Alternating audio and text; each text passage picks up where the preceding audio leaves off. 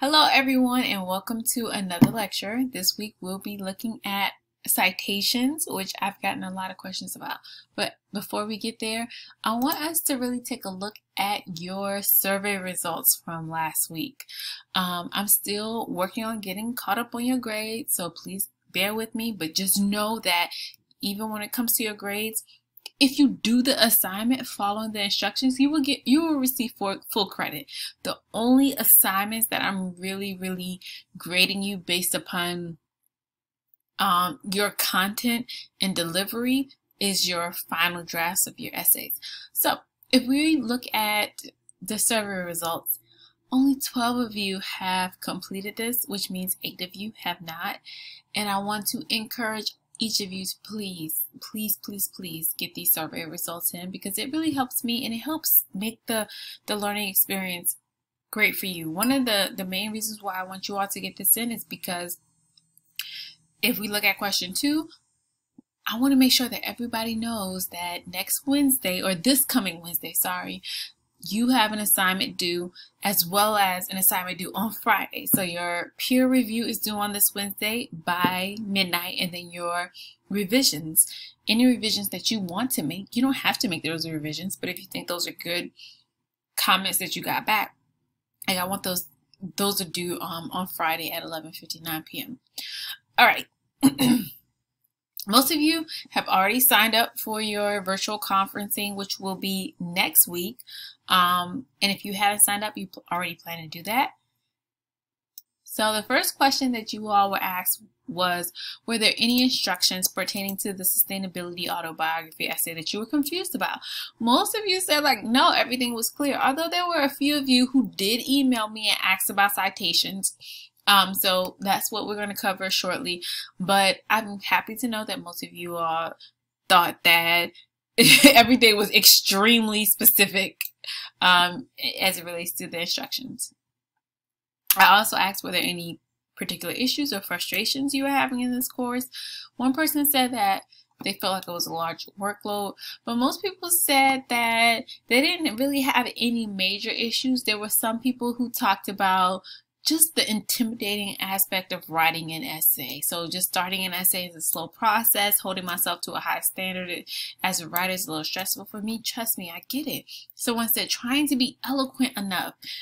Look, the reason why we have, the reason why I'm having you peer review your accountability partners essay so that you can get feedback as well. And the reason why I'm meeting with you, I'm taking out all this time next week to meet with you, um, to conference before you turn in your final assignment is because I know that when I was in college, we didn't have, a, I didn't have that one-on-one attention.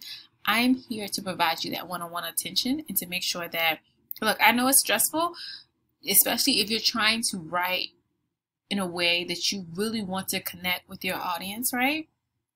But the other thing I want you to know is that you have time. You got a couple weeks, you know, before this essay, this final draft is due. So don't, I just want to de stress this off of you. Like when we meet next week, tell me whatever is bothering you and we'll, we'll work through that together.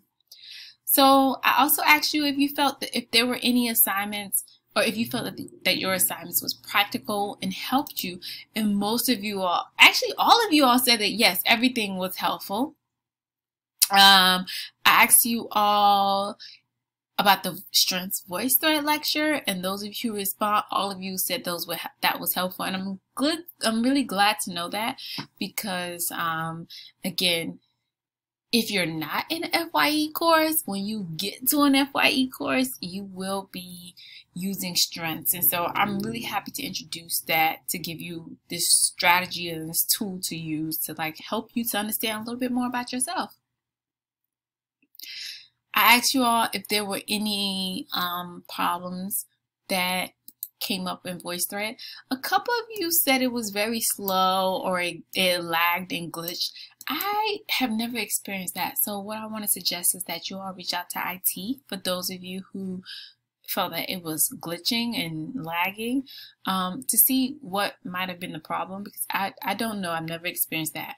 Um, it could be your computer, it could be the internet connection, it could be something else entirely. So please reach out to IT to figure out why VoiceThread was glitching and lagging for you. Ask which one you prefer, the VoiceThread or the screencast recordings, and you all said that you overwhelming, overwhelmingly you prefer VoiceThread, and that is absolutely fine. You'll notice that I'm not using VoiceThread right now, and that's because it just wasn't good for this um, assignment in this lecture that I wanted to do. But I'm glad to know that you all like VoiceThread in an interactive lecture, so I will try to keep that in mind as I'm designing lectures throughout the remainder of this course. As you all, where lectures are clear and informative, and the overwhelming amount of you all said yes, they were they were clear almost immensely. And then some of you were like, three of you said they were just most of the times. No one said that no, they weren't clear or just some of the time. So I feel so good about that. Thank you all. And I'm glad that it's very clear for you all.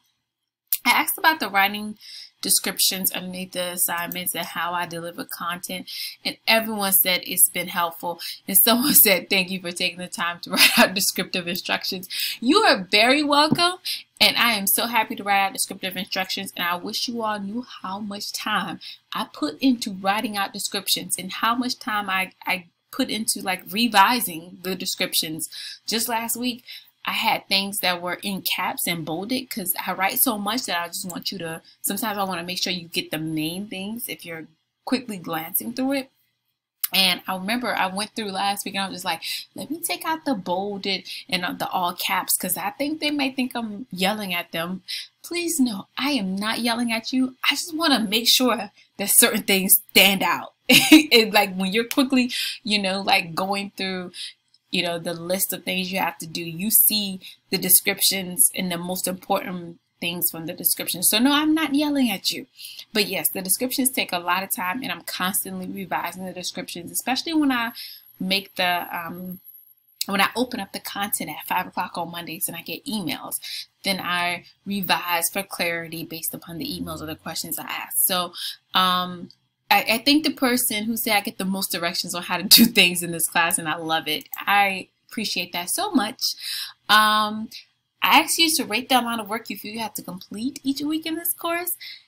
Nine of you said that the workload is, is extensive but manageable, or at least you just don't feel like you had too much work or too hard. And then there were three of you who felt like the class is overwhelming you. For those three of you, I think during conferencing, we should definitely talk. Please bring up any comments or any issues you're having because the you could be feeling overwhelmed because you know you're you're new to college and this is your first year as a freshman. It could be that you are taking this class entirely online, the amount of work that's in this class is the same amount of work that's in a face-to-face class. But it could be that you're just not used to taking online courses and you prefer face-to-face. And so next semester, you may want to make sure you only take face-to-face classes so that you don't feel overwhelmed. Or it could be just that you are, there, there's so many other external things and issues that may be happening, right? It could be maybe you're working a job, maybe this COVID and this pandemic is stressing you out, maybe roommate situation, so many other things that may impact you, your ability to, to really um, feel like, or it may impact your abilities and you feel like a lot of things are um, easily overwhelming you. And then I ask you, is there anything you want to see added? Most of you are like, no, I think the structure now is perfect, or I like this pace. So I'm so happy to see that because um, you never know. Some students don't like, um, you know, online learning or the self-paced model. And I was really worried about, this was the question I was most worried about. Did students, um, were students okay with completing assignments at their own pace? And most of you are were absolutely fine with that. So I'm so happy to hear that. And then question 14, I asked you, what did you appreciate the most? Many of you said the weekly modules. So many people said the checklist, the checklist, the checklist. I am going to keep the checklist every week, I promise y'all. And I was so happy to see that someone said they love the Clifton Strengths Test. um, and then I also appreciated in alignment with the person who said that they love the, the Clifton Strengths test, that they appreciated the focus on introspection. And really to me, those two comments mean so much because um, one of the things that I'm trying to do in this class is really teach you how to live in harmony with the world and the environment and to live in a lifestyle and in, in a way that makes you feel good about yourself. And I want you to figure that out for yourself because no one else can figure that out for you. And so this is a reflexive class. It's one that asks you to think about who you are, how you learned certain things and values about, you know, the things that you care about, and then to write those out. So part of the Clifton Strength Test, I remember when I first was introduced to it, I was immediately, I, I loved it because I thought this was one way for students to really understand a little bit more about themselves. One of you said, you're my only professor that has used the course assignments, the course home announcements and news tab, which helps structure out the week easier. And I will continue to keep doing that. And I'm glad you said that because I was worried that I was like harassing you like an overbearing mom, like emailing you all all the time and posting all these announcements. But I just want you all to know that I'm accessible, number one, and that, you know, like I am really reading through your assignments and reading through your emails and figuring out things and smoothing things and covering things based upon the questions that you ask. And then finally, I asked, is there anything else you would like me to know about how the course is going for you? And most of you all were like, I'm really enjoying it. And I appreciated that. And then there was someone who's like, I am enjoying this course. I enjoy having you as a professor, even though I don't see you each week, smiley face. I don't know who said that, but I just want you to know that I appreciate that. And if I ever find out who that is, you will be my most favorite student in the whole entire world. okay? All right. So now let's go to what this week is really about, which is citations and sources. So let's begin. The main way that we want to begin is thinking about what is a source. So I got like 10 emails after I posted last week's module, weekly module, and a lot of you had questions about like, I don't know how to say, I don't know what a source is. What do you mean by source? Okay, so a source is any quote you use to make your point, to back up your point, or to back up what you say, or to add depth and nuance to your paper. And I want you to look at those three iterations really closely. So let me make this bigger so that you all can see.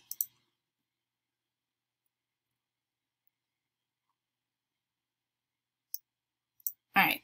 So a source is anything that really helps you to prove something that really makes what you say like it, it, it hits home and it just drives home everything that you have to say. So it can add depth and nuance. It can back up what you say or it can actually help you prove your point to say like, look what I said. I know that what I said is truthful because. So some of you were wondering about which sources you can use in your paper. One of the sources you can automatically use is just the definition of sustainability, a sustainability sponsor that was offered by Deborah Brandt. You can go ahead and use that. That's one source you can go ahead and take away. Another one is any definition of sustainability that you connect with that you found online. Maybe you don't agree with the, the entire definition of a literacy sponsor or sustainability sponsor that Deborah Brandt offers. Whatever, whichever one you feel like you connect with, use that. Include that in your paper. So that's two sources you have already. And then a source um, is one that can even provide statistics or data about an event. So if we think back to the Hurricane Katrina example that you had to read last week, right? Maybe if this person had to include sources in their paper, that now this Hurricane Katrina paper was from a completely different class. But let's say they had to um, use a legitimate range of sources. One of the ones they could use is just providing statistics or data about an event. And in doing that, they could talk about, you could use a source that talked about the, the extent or the damage that Hurricane Katrina caused or the number of people that were affected by, by by the hurricane or you know the aftermath of the hurricane. Any, anything they can use to really say a little bit more about what happened as a result of hurricane katrina or what happened in hurricane katrina is an important point that they can use a source to make. Now, I know a lot of you all want to know what are good sources. So, the number one thing I want to point out to you is that they must be attain, obtained from a credible place. So, what does credibility look like? That can encompass a number of different things. One of the things that I want you to avoid for this class is I want you to avoid Wikipedia and I want you to avoid dictionary.com. Okay. so Wikipedia and dictionary.com, they're not bad sources, especially because they give you, they open you up to different things. So Wikipedia, they have links that you can, they have links embedded within the website that you can kind of like click on to actually go directly to the source. Um, and I would encourage you, if you do use Wikipedia, maybe you can use that as a starting point to like get more information and then, you know, use that as a way to find more links. But Wikipedia and dictionary.com, especially dictionary, it, it just gives you such a basic level of information. Um, for instance, if we were to look up sustainability on dictionary.com, the definition for it would be so basic and it doesn't really give you the depth that you're looking for. Um, and then it's just like a really overarching way of defining words. And same with Wikipedia, it just gives you a very, um, it doesn't give you the kind of depth that you need. And then we also know that people can't, anybody can, can edit Wikipedia. That's why it's called a wiki. so you use those as your starting points, but use those only to like find more credible websites. So what are credible websites? We usually define them as scholarly sources. So those are sites that end in .edu, .org, .gov. Um, sometimes they're articles written by people with professional degrees, such as MD, PhD, or JD. So if you see that after someone's um, name, or if you see those abbreviations, usually you know that you can trust them. They also include articles written on college websites. So if you see a college website, usually those include people who have fact checked most of what's being put up. So the one thing you want to avoid is fake news. Okay. Nothing that looks um, illegitimate in any way. Um, another example of a scholarly source, and most of you all may not be familiar with it right now, but it's peer-reviewed journal publications that, that can be found through a library database. Um, College of Charleston has its own library database that you can look up journal publications on. Um, but we'll talk about that later in the semester. Um, but a really good example are credible newspapers with, with fact checkers. So the New York Times, the Post and Courier, CNN, BBC, those are all good newspapers because they include really good fact checkers. Now, sometimes you it won't be cut as, as cut and dry as just looking at a website and saying, oh, it's the New York Times or it's CNN, right? So then in those moments, you have to just use good judgment. Are things spelled correctly? Or do you think they're just posting for shock value? Do they make most of their money because people are coming and clicking on things for shock? Shock content? Does the website look legit to you? And can you even research the author? Is there an author included that you can Google or look up to find and learn more about their credentials? So all this is important for thinking about what are good sources. Now, how to find sources. So a lot of students don't really like including sources because it means they have to read more and or because they think that they look smarter or they they come off looking better if they say, "Oh, I wrote this all on my own." But really, sources help you to be more informed and they actually make you look more knowledgeable. Like I couldn't have written my dissertation for my PhD without sources.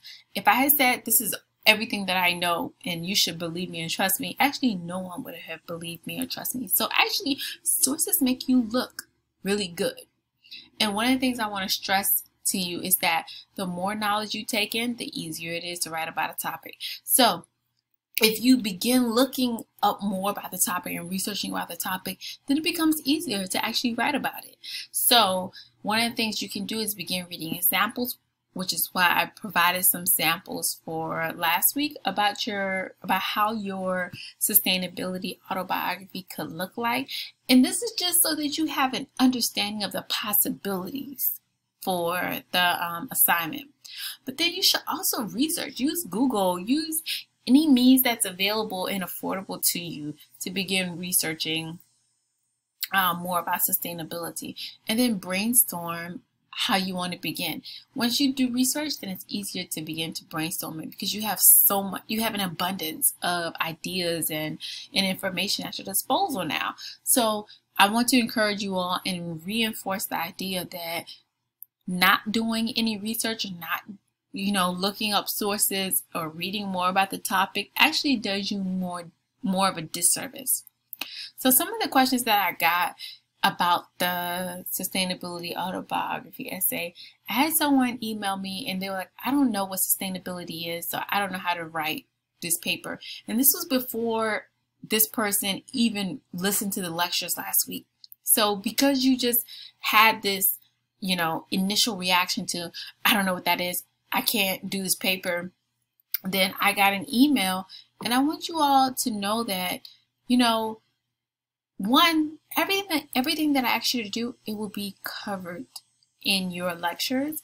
And also, as part of a good work ethic, you should not give up at the first instance of like, I see something I don't know, I have to email my professor and tell her I don't know or tell them I don't know.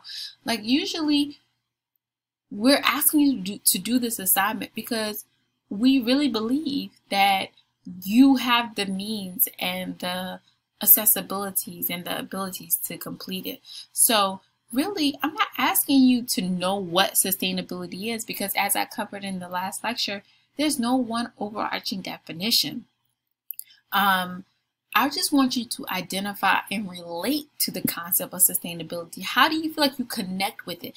That's what this first initial assignment is. Because later in the semester, we're going to be reading way more um, complex um, and dense articles, but it'll be easier if you can really have a standpoint for inter interpreting what sustainability can look like because it doesn't look like one thing to everybody every program, every business model, every company, everyone has a different definition of sustainability. So again, this essay is just about how do you identify and relate to the concepts that I went over in the five um, the five key layers of sustainability as well as the five aspects of personal sustainability. I also got a question for someone who's like, there's nothing I need to back up or provide a factual basis for, so I don't know why what source to use. So the advice I would give is just to reread your paper to see what things you may want to further contextualize or provide more information about for your audience because and when I say contextualize, I mean what other what other sources can highlight or prove or give background information that is not available in your paper. So I think there's always always, always, always the the ability to do that in any paper. You can always include sources. So again, reread your paper, see where you might can further give more information. All right. And then the question, the third question I got was, does the essay have to be a complete narrative story or can it be a telling of a couple events that shaped our personal sustainability? This is a great question and I just want to say it can certainly and definitely be a telling of a number of things that shape your beliefs about personal sustainability. It doesn't have to be this one story that just um, ties everything together and changes your life. There could be a number of things because that's what life is. So now that we know what citations, or I'm sorry, what sources are and what good sources are and how to look up sources or identify good sources, now we have to know what are citations. A source is really what makes up your citation. So you can't have a citation without a source, all right? So what is a citation? And I want you all to read this, this definition very carefully. A citation is a direct quote or a summarized concept that you read or heard that may or may not have an author listed. Now, what I mean by that is that we all know how to direct quote things, but sometimes students will like change one word in a sentence and then not attribute it to getting it from somewhere else. But if you are summarizing or if you're just changing one or two words in a sentence, like removing the or and from the sentence, you still have to cite that as a source. All right. So that's still one of your citations. So to answer your questions or question of what and when do I need to cite something, you need to cite something anytime you quote or summarize something that you learned from somewhere else that is included in your essay. Anytime you do that. So it does not matter if, you know, you just changed a couple words. That still needs to be cited. And again, to reinforce the concept, citations actually make you look like a scholar. It makes you look like you are well read. So don't think that including a lot of citations makes you look like, oh, I don't know anything. All right. Now that we know what citations are, I want you all to remember and know that in your papers, you are always supposed to cite in two ways. The first way is via in-text citations. So what are in-text citations? Directly speaking, citations or in-text citations are those citations that come in the body of the paper. That means as soon as you put something in quotation marks or summarize something, you let the reader know that this was taken from somewhere else and you picked this up from somewhere else. So if we look at this example right here, um, it's talking about a direct or is using a direct citation that is immediately in quotation marks and then right outside we know that it's an it is an example of an in-text citation because it's using parentheses. So in the parentheses, we see the author's last name, and then we also see the page number. Now, for you all, you may not have, and you may not always have an author's last name, and in that case, you may have to use the title of the book or the website. And then if you have the page number or if you're taking it from a book, then that's good. But sometimes you may not even have that either. So this is the example um, of an in-text citation. Now, the second way that you cite, and you should always cite in this course, is through a works cited or bibliography page. So actually your works cited page and your in-text citation, they speak to each other. So let's take a look at this example. So you see on your left hand side in yellow highlighting, you can see the um, the in-text citations. And the in-text citations correspond to the works cited page. So even the ones that don't have a an author's last name or author author's name, you see that it has the title of the um, of the in-text citation that corresponds to the same thing on the works cited page. So works cited page and in-text citations go hand in hand, and so they must match and correspond. So let's go, let's get more deeply into your works cited and how that's supposed to look. For this class, we're using the MLA works cited format, which is in the 8th edition. Now, the 8th edition is a really important thing to, to denote that I want you all to make sure that you all understand. So this example that I've have that I have here is really not 8th edition, it's 7th edition. And the difference between 7th and 8th and or 6th and 5th editions is that people have been quoting citations and sources from since the beginning of, of writing. What I want you all to know is that each year and sometimes every other year, these citation formats are updated. But they all have the same gist or the same central theme, which is they have the author's name that begins at the beginning. They have the place, or I'm sorry, the title of the um, article or the title of the book. They have the place it was published. This one was in New York. And then it has the publisher, which is this one is the Modern Language Association. And then it has the date of publication. And this one has print, but this is from the seventh edition. So it has print and like web after it to let you know that, oh, we found the source either you know, it was a print copy or it was online. But now that we're in the eighth edition, we don't really have to do that to write print and web because your URL will let you know if it's um, a web-based source or an online source. So one thing I want you to know is that there are so many different editions and formats of MLA, but the one I want you to use is the eighth edition whenever you um, whenever you look for look up MLA format. And the eighth edition makes sure that you include or it asks you to include the URL. But even if you are using the eighth edition, really, I'm not going to take off too much of, you know, in regards to your citations. The main people who really need to worry about citations being perfect are those people who are publishing a book or maybe publishing for an academic audience or an audience that everyone in the world is or you know that's going to be accessible to to people throughout the world these however are the four main things that i want you to always cite in your bibliography or works cited page number one is the author if there is one not everything that you use will always have an author um, and then I also want you to remember that only the first author's last name comes first if there are multiple authors. So let's take a look at this. Go back and take a look at this example. So we see Russell Toney. His last name comes first because that's how you order um, works cited. But everybody else's name is just written out regularly.